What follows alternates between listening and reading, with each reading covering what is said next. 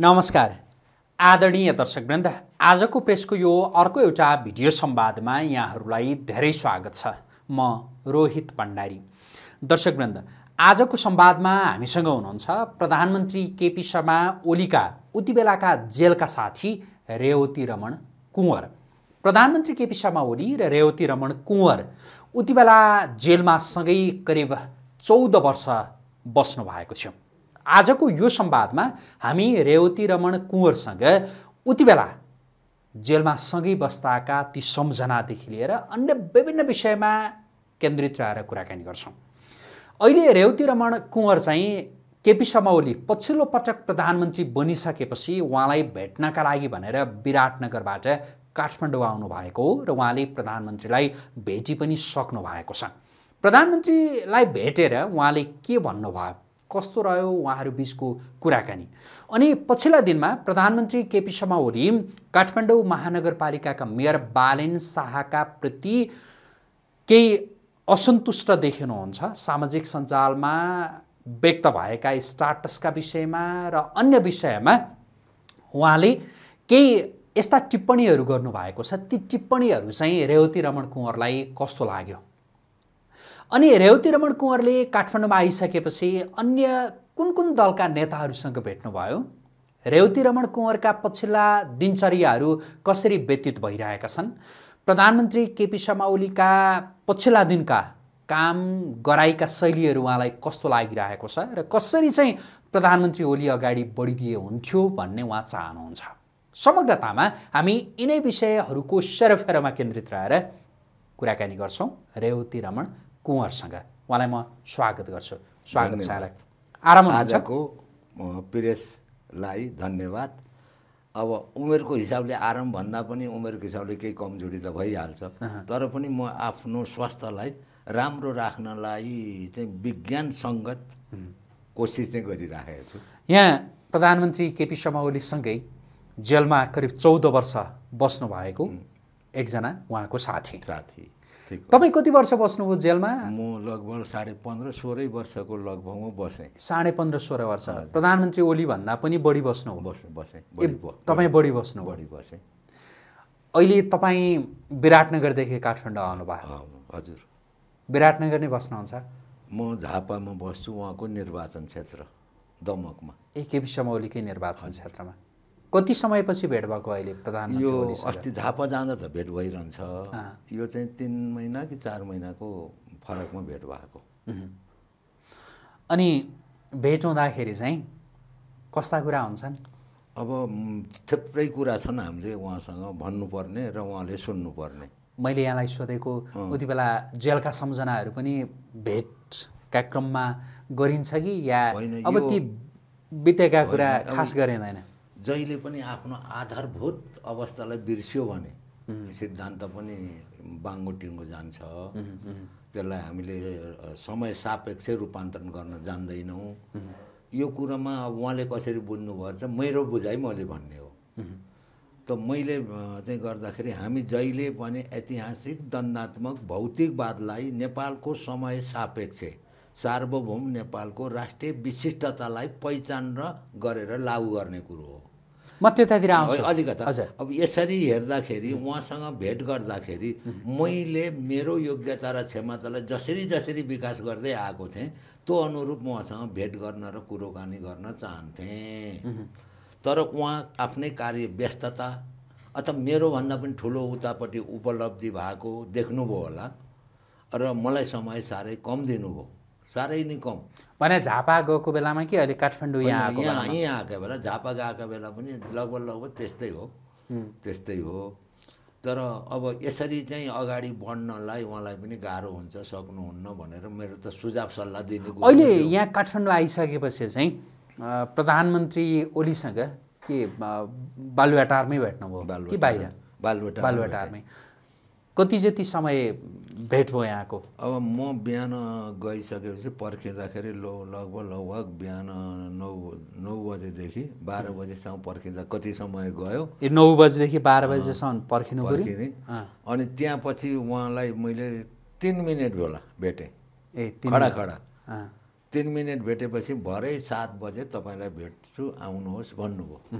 अनि त्यहाँ भातसात खाइयो हरियो अनि म सात बजे बेलुका गएँ। बेलुका गएपछि बेलुका पनि मान्छे प्रशस्ति हुँदो रहेछन् भित्रै। अँ, पहिला वरै भेटियो सचिवालयमै पछि चाहिँ उहाँकै भित्र निवासमै गएर भेटियो। भेट्दाखेरि उहाँले के भन्नु मैले के बुझाउँदै थिएँ भन्नुहुन्छ भने मैले एउटा डकुमेन्ट लेखेको थिएँ। थिएँ तपाईँको एसपी आरआरके विचारधारा भनेर। उम्, अनि त्यो चाहिँ कसलाई लेखेको थिएँ भन्दा नेताहरूको मनोगत कुनियतमा फसेको इन्डिया भनेर। अँ, त्यो भित्र नेपाल पनि परेको छ यो कुरो उहाँलाई हस्तान्तरण गर्न र बुझाउन भनेर म गएको थिएँ। उहाँले हस्तान्तरण त लिनुभयो। तर अब उहाँले यो पढेर फोन गरेर तपाईँसँग कुरो गर्छु है मात्रै भन्नुभयो त्यति हो। भनेको बिहान तिन मिनट जति भेट भयो अनि बेलुकी सात बजेलाई बोलाउनु भयो बेलुकी सात बजे जानुभयो अनि त्यति बेला पनि भेट भयो भेट भयो तर त्यति बेला चाहिँ कति समय पाँच मिनट जति त्यही पनि बसेर सौहार्द होइन सबैको बिचमा। सगुलमा भेट भयो त्यो चाहिँ। के भन्नुभयो उहाँले? उहाँले म यो डकुमेन्ट पढ्छु त्यसपछि तपाईँलाई फोन गरेर बोलाउँछु भन्नुभयो। त्यति बेला डकुमेन्ट दिनुभयो। दिएँ डकुमेन्ट दिएँ। डकुमेन्ट तपाईँको अगाडि छ है? यो यो तपाईँले यही डकुमेन्ट चाहिँ प्रधानमन्त्रीलाई उति बेला प्रधानमन्त्री प्रधानमन्त्रीलाई पनि सभामुखलाई पनि। ए उति बेलाको आफ्नो साथी जेलको साथी। होइन यो? उहाँलाई चाहिने उहाँलाई दिनका लागि भनेर तपाईँ दिनको लागि यही दिनका लागि भनेर आउनुभयो कि होइन, अरू पनि थुप्रै अहिले। के के काम छन् भन्दा उहाँका तपाईँले उठाउनुभयो कार्यशैलीको सवालमा होइन? अरू हाम्रो चाहिँ मतलब ग्रास रोडको सवालमा अनि हामीले पश्चिमदेखि पूर्वसम्मको चाहिँ पहिचानको लागि अथवा एमालेको चाहिँ स्तरलाई उन्नत गर्ने कुराको मार्चको सवालमा यी थुप्रै सवालहरू थिए उहाँसँग बोल्नुपर्ने। र त्यो दौरानमा तलका कार्यकर्ताहरूले के जाने र नेताहरू अरू नेताहरूले उहाँदेखि बाहेक केन्द्रीय स्तरका नेताहरूले के के कुरो प्रशिक्षण गरे त्यो देशको लागि उपयुक्त छ कि छैन भन्ने कुरामा पनि मैले छलफल र बहस गर्नुपर्ने स्थिति देखेरै उहाँसँग भेट गर्न आएको हुँ। त्यति मात्रै थिएन। तर धेरै कुराकानी धेरै होइन। यसलाई महत्त्व दिनु भन। यो- यो कुरालाई चाहिँ तपाईँले कसरी लिनुहुन्छ? जस्तो भनेको हो नि उति बेला पो हामी सँगै बस्यौँ जेलमा सँगै थियौँ सुख दुःखका कुरा हुन्थ्यो होइन? त्यति बेला अहिले त उहाँ प्रधानमन्त्री हुनुभयो। व्यस्तताका कारणले पनि उहाँले मसँग धेरै कुरा गर्न नपाउनु स्वाभाविक हो नि भनेर लिनुभयो कि? या उहाँले जो तिन मिनट र पाँच मिनट होइन? जम्मा जम्मै झन्डै आठ मिनट बिहान र बेलुका गरेर जो समय दिनुभयो त्यो समय चाहिँ ओहो कम्तीमा मलाई अलि समय दिनु पर्थ्यो उहाँले। होइन? उति बेलाका ती दिनहरू झल्झली आए कि या कसरी लिनुभयो तपाईँले? त्यसरी हेर्दाखेरि त नि मलाई राखेर। उहाँसँगै बसेर यसै गरी होइन कोठामै बसेर पनि कुरोकानी गर्न सकिन्थ्यो नि त। म त कुनै उहाँसँग खतर्न मान्छे त होइन नि। अनि म चाहिँ त्यो पनि सोचिरहेको थिएँ कि त्यो त्यो पक्षबाट पनि मलाई यसो गर्नु भने हामी केही कुराकानी गर्न सक्छौँ। मेरो एमाले सपार्ने हो बिगार्ने होइन नि त। उहाँले त्यो बाटो हिँडेर प्रधानमन्त्री हुनुभयो। मैले प्रधान कुनै पनि प पद ओदामा नजाने गरी त विचारधारा त बनाएँ होला नि त। नेपालको बारेमा अध्ययन गरेँ होला अनुसन्धान गरेँ होला बाहिरी हस्तक्षेप कस्ता भएका छन् होइन? यी तमाम कुरा त मैले पनि विकास गरेँ होला किनकि म पनि यही देशको नागरिक र यही देशको चिन्तनमा गएँ त्यो पनि एमालेको कोणबाट एमालेको नीति पद्धतिबाट। त्यस कारणले गर्दा मलाई उहाँले महत्त्व दिएर भेट गर्नु पर्थ्यो। तपाईँको अपेक्षा थियो। मेरो अपेक्षा थियो र अहिले पनि छ। अहिले पनि छ। अनि उहाँले चाहिँ दिन सक्दिनँ यो भन्नुभयो भने म पार्टी खोल्छु भनेरै आएको। किनकि मेरो पनि राइट हो। यसमा लेखेको पनि छु। ए। यी कारणले अहिलेका मतलब कि राजनीतिक पार्टीहरू स चाहिँ ठिक ठाउँमा आउन सकेनन् भने अर्को पार्टीको आवश्यकता छ। कारण मैले सबै खोलेको छु यसमा। पहिलो दस्तावेज हो यो। त यो बारेमा नि उहाँसँग छलफल गर्छु। त्यो कस्तो चाहिँ कारण देख्नुभयो मेरो नेतृत्व तपाईँलाई किन ठिक लागेन भनेर मसँग प्रश्न गर्नुहुन्छ उहाँले।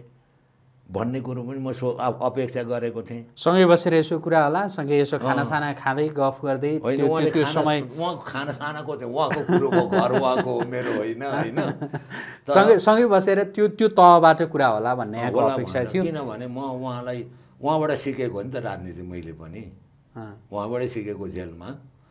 अनि धेरै कुराको अपेक्षा मलाई हिजो पनि थियो आज पनि थियो। तपाईँहरू जेलमा बस्दाखेरि चाहिँ नि तपाईँहरूको जस्तो तपाईँहरूलाई एकै ठाउँमा राखिएको थियो कि के थियो यो अलिकति सम्झिनुहोस् न हुन त तपाईँसँग मैले भन्नुभयो। तपाईँहरूको जेल जीवनका विषयमा योभन्दा अगाडि पनि कुराकानी गरेको तपाईँले छु। गर्नुभयो मैले कुराकानी। धेरैसँग गर्नुभयो चाहिँ धेरैले ठिक छ- चाहिँ तथ्यसङ्गत कुरो गरेका छैनन्। तपाईँ तपाईँ तपाईँले चाहिँ भन्दैनस् अँ, न। जस्तो- तथ्यसङ्गत किन गरेका छैनन् भन्दाखेरि उहाँहरू जहिले पनि पदको आकाङ्क्षित कोणबाट कुरो गर्नुभयो क्या? म सुन्छु नि त तपाईँको पनि यहाँ इन्टरभ्यू अरूको पनि। भनेको जस्तो मैले सिपी मैनाली मैनालीलाई गर्नुभयो अर्कैलाई गर्नुभयो यहाँहरूको जल जीवनका विषयमा पनि धेरै थोर मैले कुराकानी गर्नुभएको गरेको थिएँ। मैले मैले यहाँलाई नै सोधेँ कि त्यति बेला नि तपाईँहरूको सम्बन्धका विषयमा त्यति बेलाका सम्झनाहरू पनि यसो केही खोतल दिनुहोस्।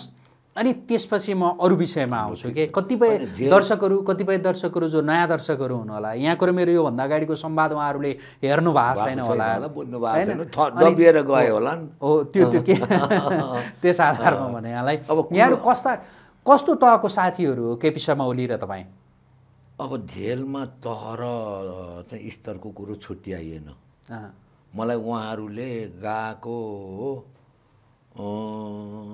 एक महिना पनि भएको थिएन जेल कमिटीमा समावेश गरिहाल्नुभयो। एउटा कुरो त मेरो हेराइ इमान्दारी के के काम थुप्रै थिए बाहिरी सम्पर्क गर्नुपर्ने त्यो जिम्मेदारी मरण र चाहिँ मरणकै कुरो थियो त्यहाँ अलिकति कुरो खोल्यो भने लगेर पुट्ने पिट्ने आदि इत्यादि हुन्थे। अब बोल्न दिँदैन थियो।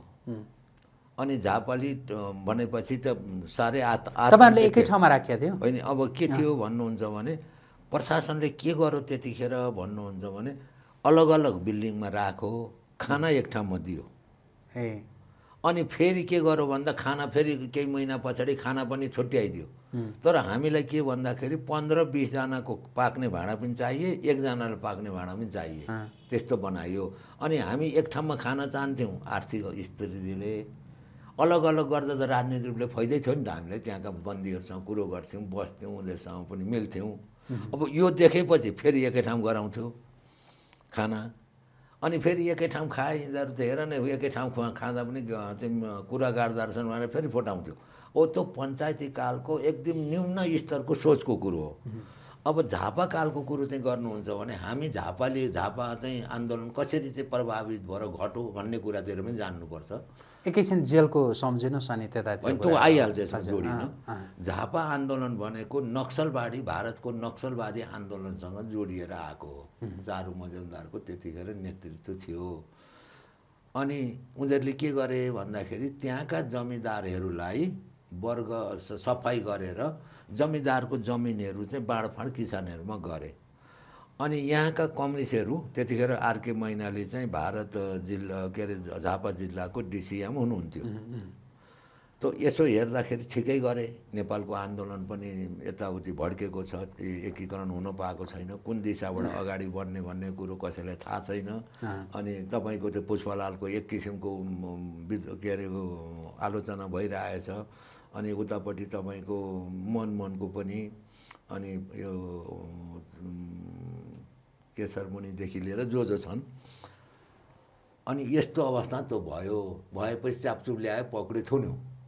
थुनेपछि अब के सत्य भन्नुपर्छ भन्ने नि R K Mainali C P Mainali K P Oli Mohanchandra Adhikari भनेका हत्यामा गएर चाहिँ सहभागी भएका मान्छे चाहिँ होइनन्।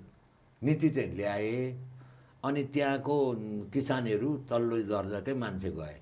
हत्या गर्नलाई। उनीहरूले ल्याएको रिपोर्टलाई चाहिँ अनुमोदन भयो। किनभने तल्ला दर्जाका मान्छेहरू अहिले पनि बोल्न सक्दैनन् साउथ महाजनसँग। भनेपछि उनीहरूले सानो मान्छेले सानो कुरोलाई पनि ठुलो दुश्मन बनाएर ल्याए। अब त्यसलाई पार्टीले भित्र गोप्य रूपले अनुमोदन गर्दाखेरि कस्ता कस्ता मान्छे सफाइमा परे त्यो पछि मात्रै थाहा भयो। थाहा भइसकेपछि कति अट्ठाइस उन्तिस सालतिर त्यो घटना घट्यो। उताकै उसले गर्दा। अनि लगभग लगभग अट्ठाइस उन्तिस तिस तिस तेत्तिस सालतिर यो हामीले ठिक काम गऱ्यौँ न भनेर वर्ग सफाइको काम ठिक भएन। चाहिँ अब यसलाई हामीले त्याग्नुपर्छ भनेर उठाउने चाहिँ केपी ओली नै हो है जेलभित्र।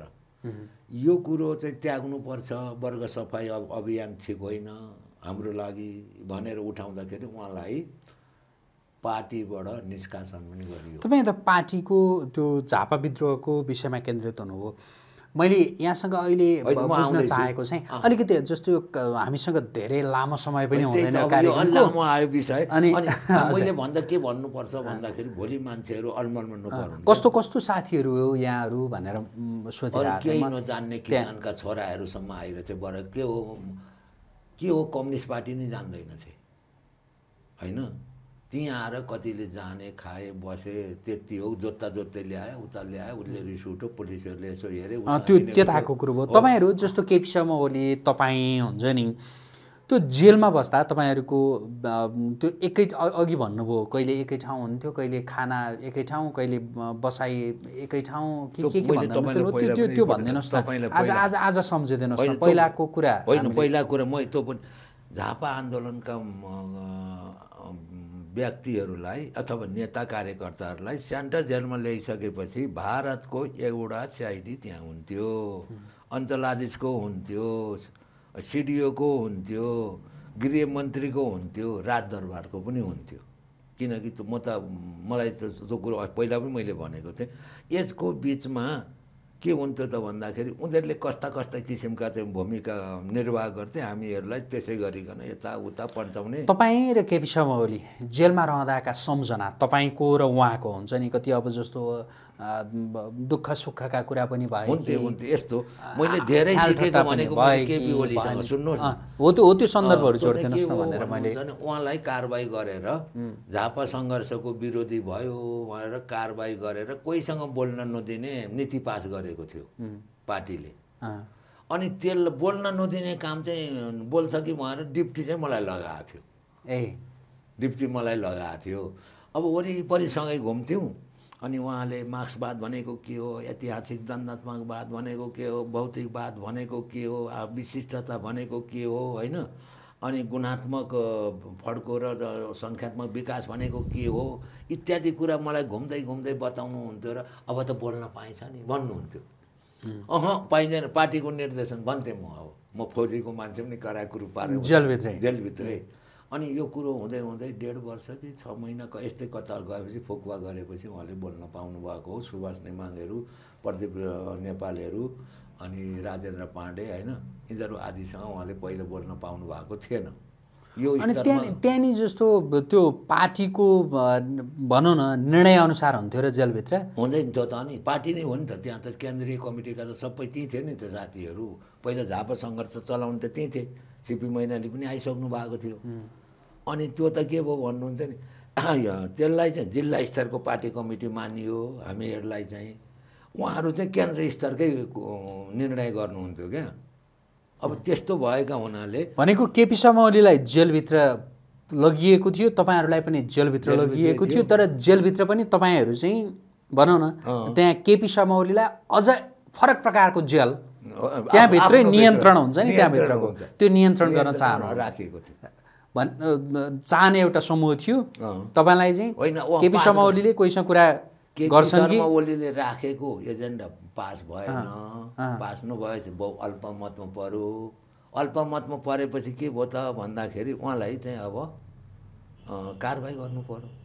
संशोधनवादी भनेर त्यतिखेर जेलभित्रै फरक प्रकारको कारवाही तपाईँहरूले गर्नतिर। लाग्नु। त्यति बेलाका सम्झनाहरू के के थिए भनेर मैले यहाँलाई भन्दै गर्दा दुःख सुखका कुराहरू के कस्तो हुन्थ्यो कुन तहसम्मका सुख के हुन्थ्यो भन्दाखेरि हामीले आत्मा गेलनी गर्नु हुँदैन आत्मबल बढाउनुपर्छ। हामी भनेको देशलाई परिवर्तन गर्न हिँडेका मान्छेहरू एउटा लक्ष्य लिएर हिँडेका एउटा चाहिँ वादलाई लिएर हिँडेका हाम्रो चाहिँ मतलब कि सिद्धान्त छ नीति छ।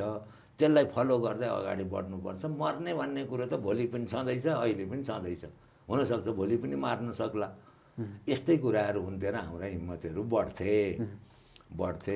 अब केपी शर्मा ओली त एकदमै अध्ययनशील नेता भनेर भनिन्छ। भन्नु- त्यहाँ पनि उहाँ कतिको त्यहाँभित्र उहाँले पढ्दा तपाईँहरू तपाईँ पनि अब जस्तो पढ्नुहुन्थ्यो होला तिर त्यस्ता सन्दर्भहरू पनि छ, होलान्। उहाँहरूलाई गोलघर राख्दाखेरि सिल्भरको थालमा सियोले लग लुगा सुने सियोले लेखेर आउनुहुन्थ्यो भित्र हामी चाहिँ बाहिर आइसकेपछि त्यो थाल हामी चामल हाल्दै केलाउँदै भन्दै अर्काले सार्दै गर्थ्यौँ। ए सिल्भरको थालमा सियोले लेखेर। सोले लेखेर? लेखेर। अनि त्यो अब बाहिरभित्र त कागज पत्र त दिँदैन गोलघरभित्र त। अनि त अब त्यो थाल त भात खाना दिनु पऱ्यो त्यो भात खाना दिएको थालमा अब कपडा सिउने के गर्ने न्युले उहाँहरूको गुद्रेको सुध्रेको गर्दा सिउ त लगिदिन्थे कामदारहरूले। अनि त्यसरी लेख्नुहुन्थ्यो क्या।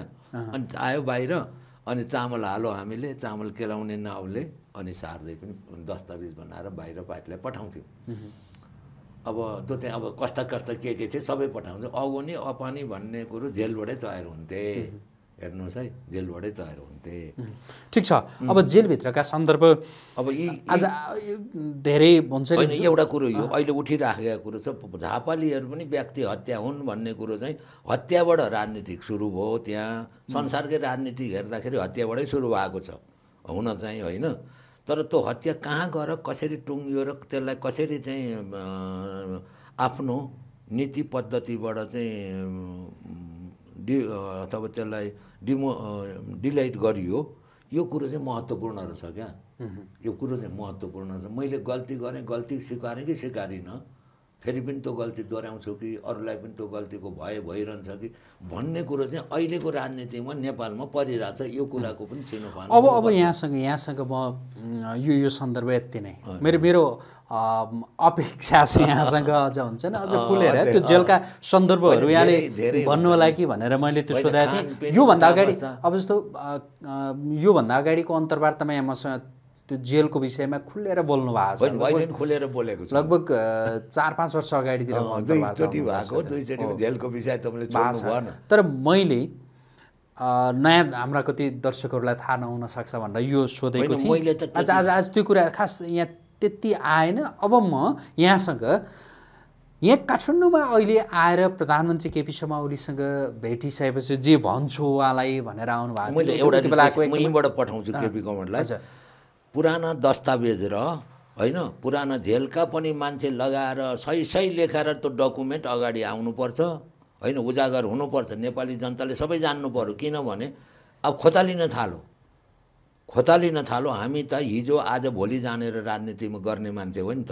हामी मान्छेलाई सचेत बनाएर उनीहरूलाई सचेत बनाएर अनि यो है देश विकास यो है समाजवाद यो है अहिलेको अर्थतन्त्र राजनीति भनेर राजनीति गर्ने मान्छे भित्र पर्छौँ भने र त्यो गर्छौँ भने हाम्रा कुनै पनि निर्णय र डकुमेन्टहरू जनताबाट अलग हुनु हुँदैन।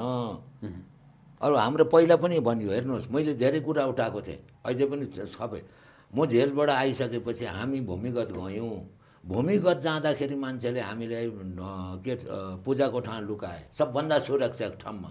ढुङ्ग्रामा मुताए टपरामा हगाए त्यो फ्याँके कहाँ घरको काम गर्ने मान्छे चिठी बोक्न थाल्यो उतिखेर यस्तो मोबाइल सोबाइल थिएन। ती मान्छेहरूलाई भेटाएर चाहिँ मतलब बल्खुमा एउटा परिचय पत्र दिउँ भन्दाखेरि सबै नेपाल नेताहरूले सुने यसो यसो कसैले पनि त्यसलाई कार्यान्वयन गरेनन्। हेर्नुहोस् तिनीहरूले त्यो काम सानो काम गरे हुन्। सानो काम गरे होइनन् पत्रकारहरूले एउटा कुरो झापाको उठाइदियो भने महान हुन्थ्यो ऊ डरले उसलाई मार्छ कि के गर्ने भन्ने कुरो हुन्थ्यो। पत्रकारहरूले त्यो आफ्नो जीवनलाई चाहिँ आफ्नो दाउमा राखेर कुरो उठाएको अवस्था हो। यसलाई हामीले उजागर गर्न सक्यौँ किन सक्यौँ भने नेताहरू सुविधा भोगी भए।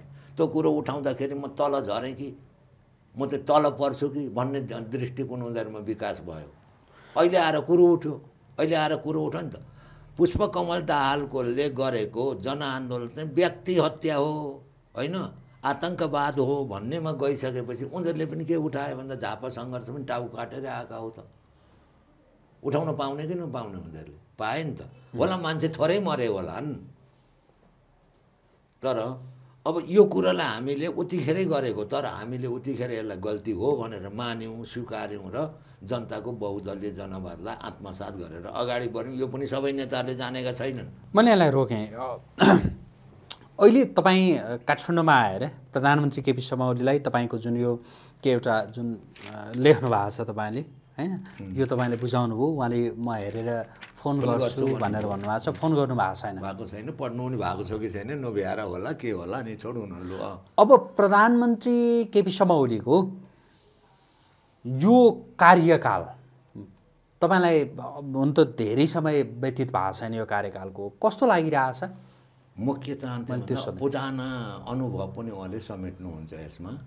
विषयगत त्यहाँ जस्ता मान्छे गए पनि त्यसलाई किन गयो उसले किन ग जानु पर्यो त्यहाँ प्रधानमन्त्रीलाई भेट गर्न जानु भनेको सानो कुरो होइन नि। कोही पनि जान्छन् भने म मात्रै होइन।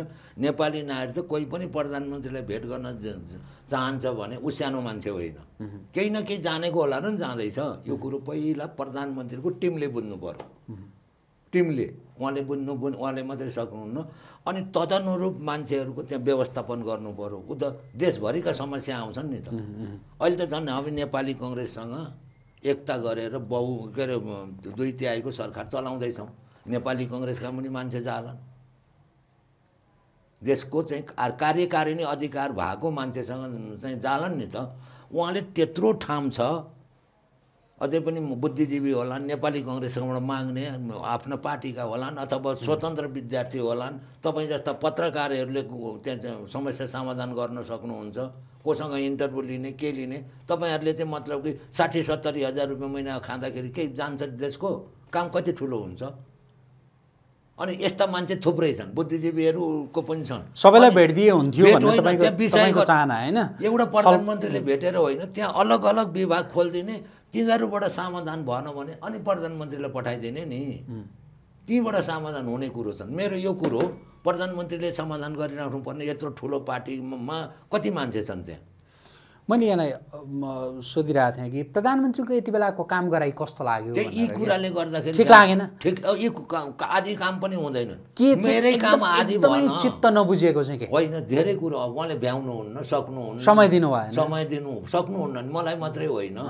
त्यहाँ गएका सबै मान्छे असन्तोषी भएर निक्लिन्छन्। अनि ठिक लागेन। ठिक लागेन। बालुवाटार छिरिसकेपछि तपाईँलाई होइन बालुवाटार सुन्नु न बालुवाटारको कुरा गर्दैछु है।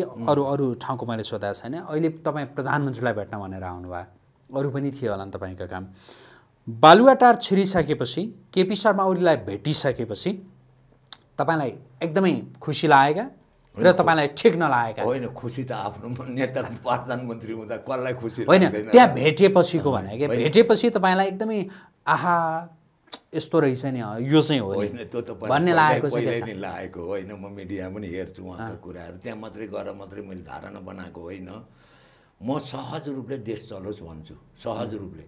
हामी चाहिँ हर ठाउँमा देश बनाउन भनेर आएका कोहीसँग विश्वास नगरिकन हामी नै बनाउँछौँ भनेर अझै पनि भन्दैछौँ।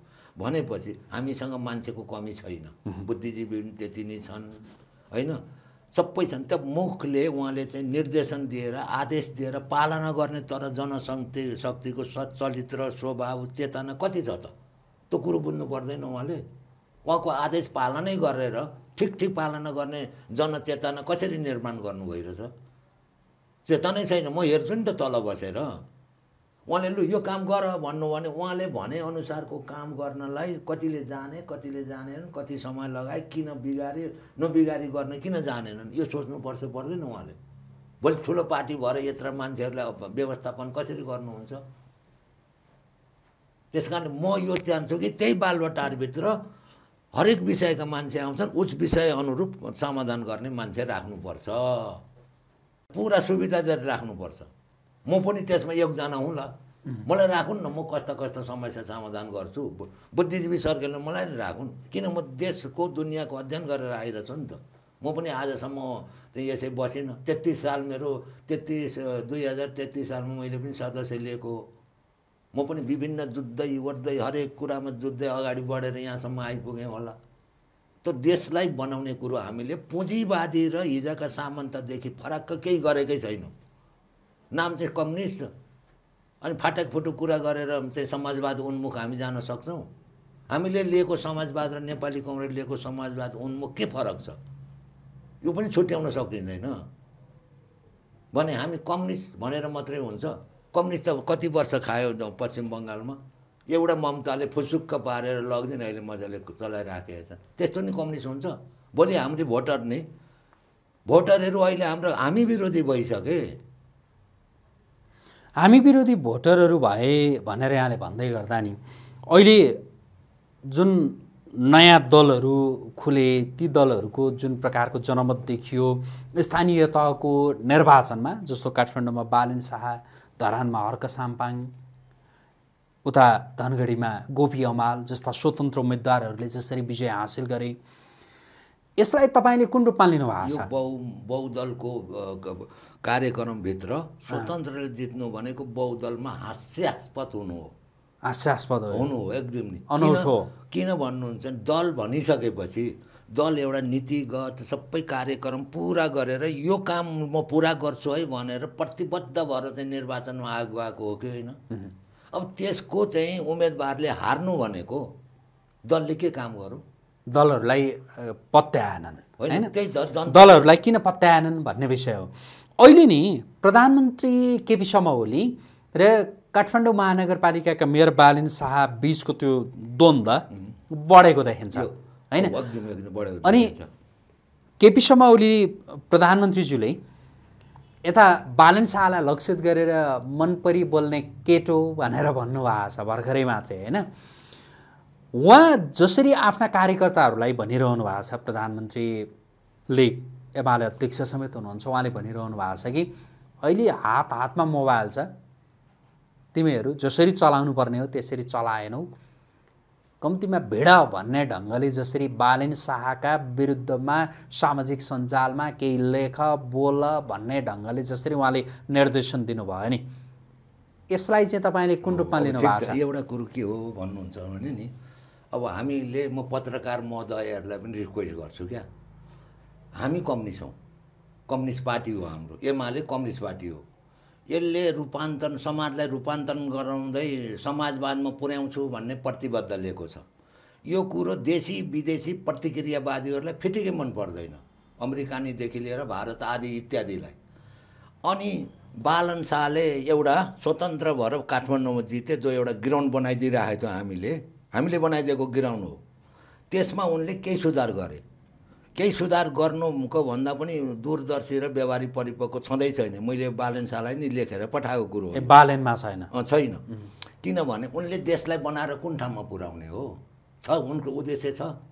त्योभित्र यो बिग्रेको रहेछ यसलाई मर्मत गर्छु। यो बिग्रेको रहेछ यसलाई सफाइ गर्छु। मात्रै हो। अनि सबै बालेन बालेन भनेर फेरि न। अब यहाँ के छ भने कम्युनिस्टलाई कुनै ठाउँमा पनि आजदेखि होइन हामीले युरो कम्युनिस्टकोदेखि हेऱ्यौँ होइन? चाहिँ रुसी कम्युनिस्ट पार्टीले विघटनदेखि हेरेका छौँ। त्यस कारणले हिजो आज भोलि भन्ने हामीले शब्द राखेका छौँ। अब यस कारणले भनेपछि बालन र देशको कार्यकारिणी अधिकारलाई बराबरी राखेर फलानुसँग तपाईँको के भनेर सोध्ने अधिकार पनि त बेकार हो। कार्यकारिणी अधिकार भाटमा आइपुग्नलाई बालनलाई कति वर्ष लाग्ला? कुन पार्टी हिसाबले आउनुहुन्छ? उहाँलाई अहिले का काठमाडौँको एउटा मेयर बनाइदिएको छ। त्यो मेयरलाई कार्यकारी अधिकारले चाहेर बहुमत लिएर चाहिँ अर्कै संशोधन गरेर बनायो भने भोलि अर्कै पनि बनाउन सक्छ। यो सरकार हो त्यो महानगरपालिका हो। हामीले यसरी हेर्नुपर्छ संसार तपाईँले तपाईँले भन्नुभयो महानगर महानगर र देशको कार्यकारी प्रमुखका बिचमा त्यो तुलना हुन सक्दैन। त्यो तुलना हुन सक्दैन होला। सुन्नु न। प्रतिक्रियावादीहरूले सुन्नु न उठाए सुन्नु न। तुलना हुन सक्दैन होला। तर नि यति बेला प्रधानमन्त्री सिंह एमाले देशका अरू दलहरू नेताहरू बालिनसँग डराइरहेछन् नि तपाईँलाई त्यो- त्यस्तो लाग्छ लाग्दैन? हुन्छ डराउनु भनेको नि जब नीति पद्धति जान्दैनन्। देशको सा नेपाल नेपाल सार्वभौमिक नेपालको राष्ट्रिय विशिष्टताको बारेमा नजान्ने डराउँछन् एउटा। म भन्दैछु है यहाँ पनि। अर्को कुरो के त भन्नुहुन्छ भने ऐतिहासिक दण्डात्मक भौतिकवाद नजान्नेहरू डराउँछन्। अर्को कुरो के भन्दाखेरि तपाईँको सङ्ख्यात्मक विकास र गुणात्मक फड्को नदेख्नेहरू डराउँछन्। हिजो जुन चाहिँ चाहिएको थियो आज त्यसले मान्छे सन्तोष हुँदैनन् हेर्नुहोस् है आज अर्कै चिज चाहिएको छ मान्छेलाई। त्यो चिज जसले दिन्छ एकछिन सन्तोष होलान्। तर निरन्तर दिने हेरेर दिने समय सापेक्ष दिने कुरोलाई चाहिँ के हुन्छ भने त्यो निरन्तरताको दिगाउमा जान्छ। दिगोमा जान्छ। हामी त्यो चाहन्छौँ। अब बालनले यहाँ देखेर बालनलाई उचालेर कार्यकारिणी अधिकारको पक्षमा जुझाउन खोज्नु एकदम नितान्त प्रतिक्रियावादीहरूको चाहिँ खेल छ यो।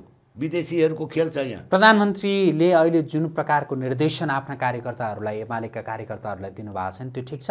लागु हुँदैन दिनु त भएको छ लागु गर्न जस्तो बालेन बालेनलाई लक्षित गरेर बालेनसँग सामाजिक सञ्जालमा भिड तिमीहरू चुप लागेर नबस। भन्ने आशय आशय उहाँले व्यक्त गर्नुभएको छ। त्यो त्यो ठिक छ कि छैन भनेर सोधेको उहाँले। भनेको वैचारिक सङ्घर्ष प्रत्येक व्यक्तिसँग गर। अब अहिले हामी वैचारिक सङ्घर्षको फेरेजमा छौँ। उहाँले भन्न कुन चाहिँ शब्द प्रयोग गर्नुभयो होइन केपी ओलीले तर अहिले हामीलाई वैचारिक सङ्घर्षको फेरेजमा छौँ। हिजो हामी सशस्त्र सङ्घर्ष गर्ने भन्ने पनि थियौँ नि त। त्यो छोडेको उहिले भयो। वैचारिक सङ्घर्ष चाहिँ तथ्य र सत्यको आधारमा वैचारिक सङ्घर्ष जोसुकैसँग पनि गर। म यसै कारणले मोदीसँग वैचारिक सङ्घर्ष गर्न यो लिएर आएँ दस्तावेज। प्रधानमन्त्रीले दिएको मत- एमाले अध्यक्ष। होइन अब म भन्दैछु। भाषा कुन? प्रयोग गर्नु? मिठो भाषा हुनु पर्यो अध्यक्षको होइन भाषा भाषा त मिठै होला। होइन, जस तर भाव चाहिँ ठिक हो होइन? बालेन शाहलाई लक्षित गरेर। उहाँले जे निर्देशन दिनुभयो नि आफ्ना एकदम करेक्ट ठिक छ। म चाहिँ त्यसलाई के भन्छु भन्नुहुन्छ भने वैचारिक सङ्घर्ष गर्दाखेरि अब त त म होला मुद्दामा जानु पर्ला कतिपय ठाउँमा त। हुन्छ नि। अहिले हामी वैचारिक सङ्घर्ष पनि छोड्यौँ भने एमालेको नीति पद्धतिलाई कसरी अगाडि बढाउने?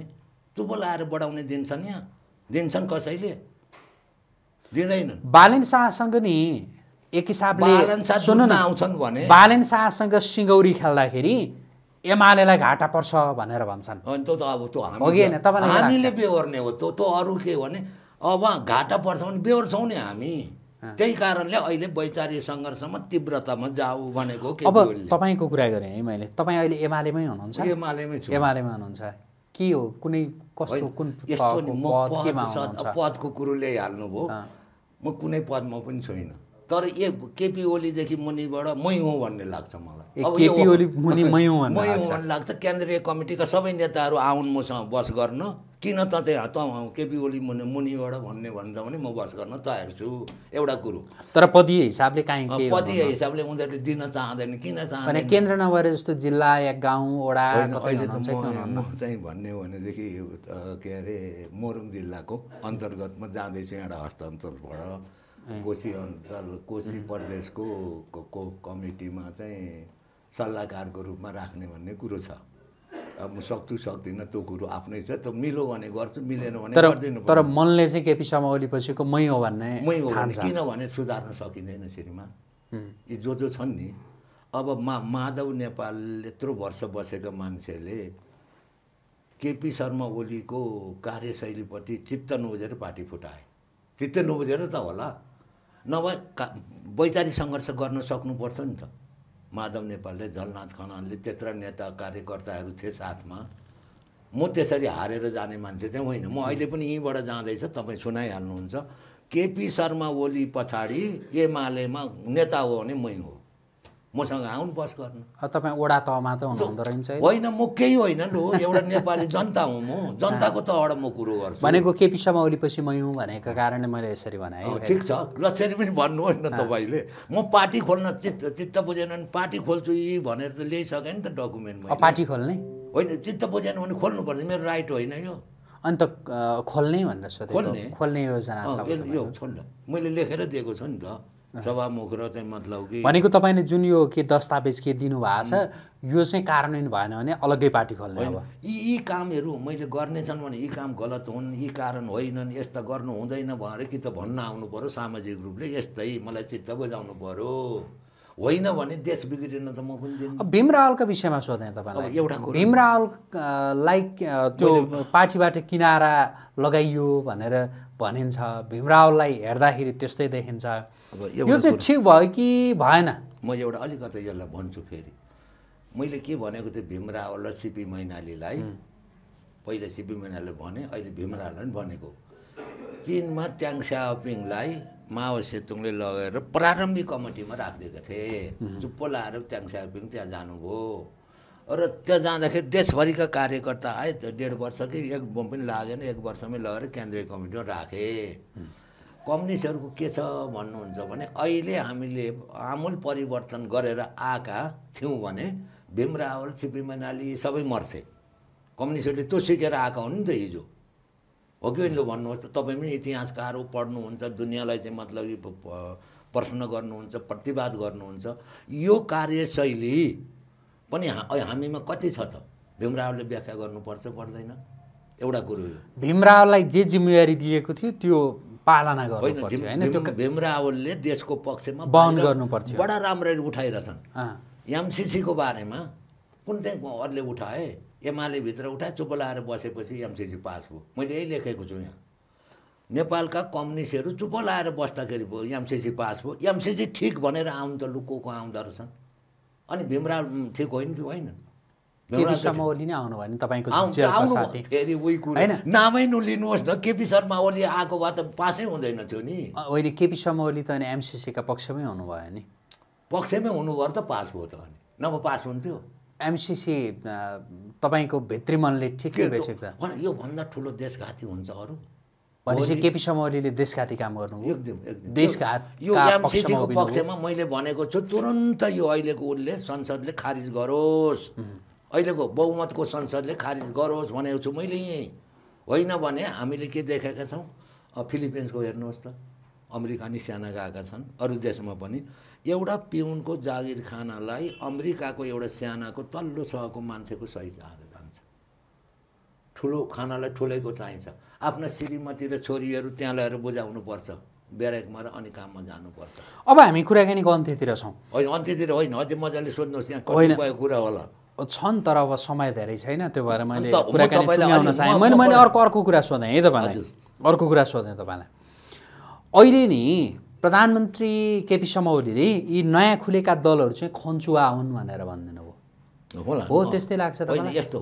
अब त्यसमा म अध्ययन गर्छु खचुवा हुन् कि होइन खाएका त छन् नखाए त बाँचेका छैनन् तर खाए कति अब जस्तै कि तपाईँले खन्चुवा भनेर रवि लामे छानेको लिनुहोस् रवि लामे छानेको कहिलेदेखि गर्नुपर्छ भन्नुहुन्छ भने यहाँबाट अमेरिका हिँडेको दिनदेखिको अध्ययन मैले गर्नुपर्छ। त्यहाँ गएर के के गरे त उनले?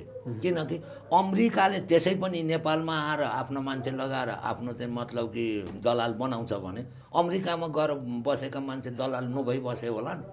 हामीले शङ्का गर्नुपर्छ देश बनाउनु देशभक्तिको दृष्टिकोणले होइन बालेन शाहको चाहिँ मतलब के हो? उनका पुर्खाले कुन हुन् कुन ठाउँमा हुन्? हिजो ढुङ्गा नेपालतिर हान्नेहरूका सन्तान हुन् तिनी पनि। तिनी राम्रो काम गर्दै गरे होलान् तर उनी भोलि कहाँबाट सञ्चालन गरेका छन् भएका छन् कि छैनन्? मैले प्रधानमन्त्रीलाई चाहिँ म त मोदीलाई प्रश्न गर्न सक्छु भने तिनलाई सक्दिनँ म। तिनले कसरी नागरिकता लिएका होलान्? तिनका सन्तानले कसरी लिएका होलान्? अहिले त हामीले उसको त देख्नुभयो नि तपाईँले कान्तिपुरको हालत देख्नु भएन अनि देशका धनाढ्यहरूको हालत देख्नु भएन। अब अघि तपाईँले हुन्छ नि होइन अझै सोध्नुहोस् भन्दै हुनुहुन्थ्यो। अब समय धेरै छैन। तपाईँले यो बारेमा नि तपाईँले खास चाहिँ यो विषयमा अलिकति म बोल्छु। लु बोल्नुहोस्। होइन भन्ने तपाईँको तपाईँको जो मसँग कुरा थियो। अब यस-।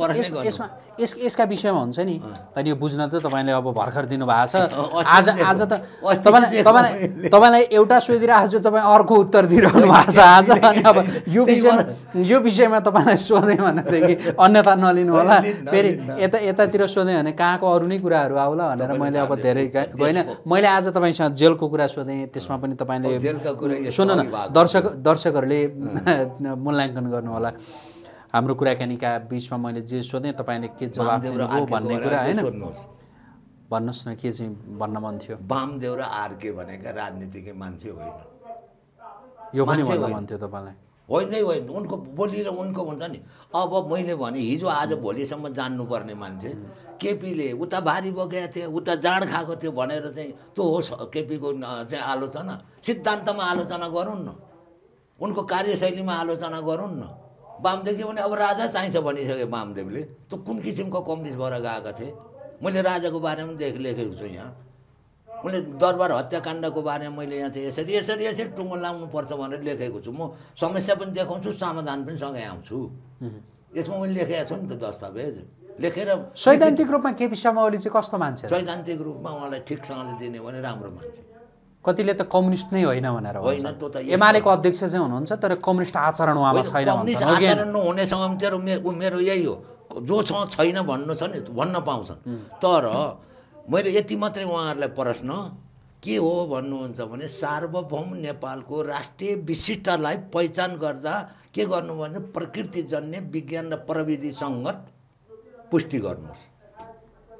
होइन हुनु हुन सक्छन् होइन भन्ने लाग्छ भने पुष्टि गर्नु पऱ्यो नि त केले भन्दाखेरि सिद्धान्तले सार्वभौम नेपालको राष्ट्रिय विशिष्टताको बारेमा केपी शर्मा ओलीले प्राकृतिक जन्य विज्ञान र प्राविधिक सङ्गत न चाहिँ आफ्ना चाहिँ प्रस्तुति दिन सकेनन् निर्णय दिन सकेनन् भने होइनन् कम्युनिस्ट त्यसरी भन्नु पऱ्यो नि। अब तपाईँको जुन यो यो के दस्तावेज छ हजुर। यो दस्तावेजका विषयमा तपाईँलाई अब प्रधानमन्त्रीले फोन गर्छु भनेर भन्नुभएको रहेछ।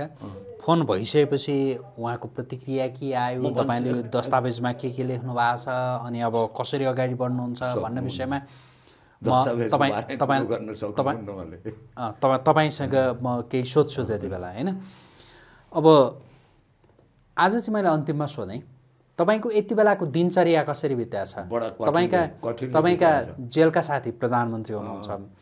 तपाईँको दिनचर्या कसरी बितिरहेछ के गरिरहनु भएको छ आजकल तपाईँ? होइन? यो बारेमा अलिकति भनिदिनुहोस् त। म अहिले पनि आफ्ना कपडा धुने भाँडा मान्ने भात पकाउनेदेखि लिएर सबै काम गरिराखेको छु। मेरो भयो अब उनासी वर्षको उमेर। होइन? तर उमेर अब मैले गर्ने कामहरू मै गरिराखेको छु। परिवारमा को को हुनुहुन्छ? परिवारमा छोरो र म छौँ। बुहारी अलग्गै छन् विराटनगरमा छन् छोरो र म दमकमा छौँ। छुट्टार भएको होइन कि उनको जागिर विराटनगरमा नातिनी र बुहारी विराटनगर छोरो र म दमकमा। अनि एकदम नेपालमा मेरो केही पनि छैन म रोडमा छु। एक एकचोटि चाहिँ अँ, श्री पाँचको सरकारले मलाई सर्वस्व गर्यो दोस्रोचोटि माओवादीले सर्वस्व गरे। झन्डै मारेका पनि हुन् लगेर गोदावरीको उसमा। त्यो कुरो सबैलाई थाहा छ। अनुसारी घटी मनाएर मिलाइदिनुहोस् न भनी भनी गर्दा पनि म सक्दिनँ दाजु पहिला सक्छु भन्नुभयो पछि सकिनँ भन्नुभयो किनभने ठुलो जालो रहेछ। त्यस्तो हो मलाई। अब म त्यतिखेर पनि उनीहरूको सैद्धान्तिक मात्रै विरोध गर्थेँ। ए भनेको माओवादीको विरोध गरेको भएर अँ, भ- त्यति बेला त्यो होइन उनीहरूले आइज लाग्यो भने पछि म जोसँग पनि जाइ लाग्छु हेर्नुहोस् म एउटा नेपाली हुँ। म सार्वभौम बनाएको छ मेरो लडाइँले पनि नेपालीलाई। त्यस कारणले सत्यको पक्षमा म हो होइन म असत्यमा छु भनेदेखि उनीहरूले सत्य यो यो भनेर मलाई चित्त बुझाउँदा म मानि पनि हाल्छु फेरि। हुन्छ आज चाहिँ कुराकानी यति गरेँ तपाईँले समय दिनुभयो धेरै धन्यवाद होइन मलाई पनि तपाईँले यो कुरो पुऱ्याइदिनु भयो होइन जहाँ जहाँले पुग्छन् सबैले सकारात्मक रूपले बुझुन् माओवादीले पनि। हामी एउटै देशका हौँ एउटै उद्देश्य बोकेका हौँ। हामी अहिले देश र विदेशका प्रतिक्रियावादी साम्राज्यवादसँग लड्ने हुती राखेर आएका छौँ। तर हामी यिनी लटफडाउँदै एमसिसी पास गर्ने लाइनमा पऱ्यौँ लाइनमा पऱ्यौँ यस कारणले सबैले यसलाई पुनर्वलोकन गरून्। एमसिसी अहिलेकै संसदबाट खारिज होस्।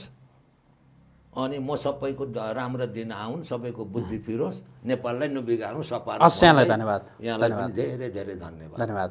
दर्शकवृन्द हामी कुराकानी गरिरहेका थियौँ रेवती रमण कुँवरसँग। उहाँसँगको यो कुराकानीसँगै आजको प्रेसको भिडियो संवाद अहिलेका लागि यहीँ सकिन्छ। पल पलको अपडेट ताजा बहस र विश्लेषणात्मक टिप्पणीका लागि आजको प्रेस हेर्दै गर्नुहोला। नमस्कार।